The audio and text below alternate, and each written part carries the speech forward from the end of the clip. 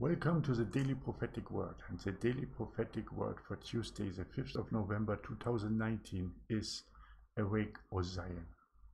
But before I start, I want to thank you for all your support and everything what you have done, your messages, your emails that you have sent, asking me not to stop but to continue because there are many people who are listening and many people who want to hear the daily prophetic word and the videos in the Great Exodus series, who need encouragement and help and support, and I thank you for all that. Please, if you are guided, help us further.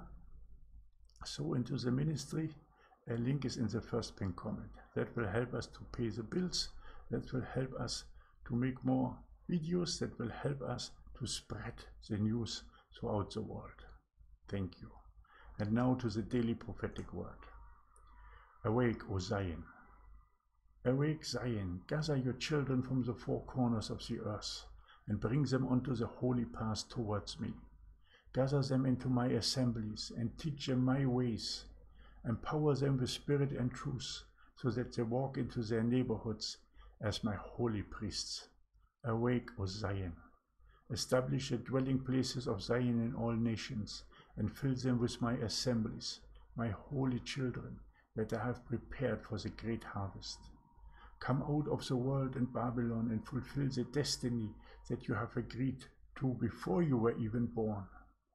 Awake, O Zion. Awake, Zion, my daughter, awake. Bring forth your children who will stand against the darkness in this world. Your children will be my harvest workers, a holy priesthood, and a chosen people. They will bring the wheat into my barn. And this was a daily prophetic word for Tuesday, the 5th of November 2019. Awake, O Zion. The scripture for this is Isaiah 52. My beloved followers, my dear Osarians, my beloved supporters, I thank you from my heart that you have come forth and ask me to stay and to continue. What I will do with a humble heart. Thank you for all your messages, your emails, and your support. Awake, O Zion.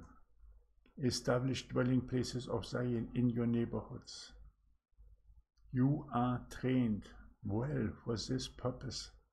You were taken through the wilderness. You are defined like gold in the fire not defined, refined like gold in the fire. You have gone through the desert. You were tempted, but you have stayed strong in the Lord.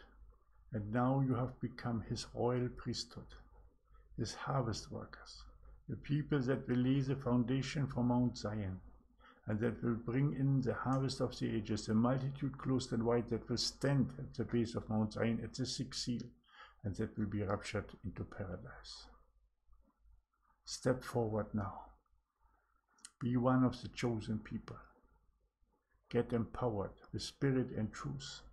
Receive the Holy Spirit and then step into the neighborhood and win souls after souls after souls and bring as many people to righteousness as possible.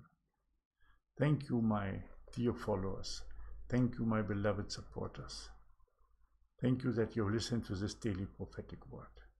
I hope I will see you again tomorrow for the next one. Walk with me that path to the holy mountain, to Mount Zion. May God bless you and your family abundantly. Have a great day. Maranatha.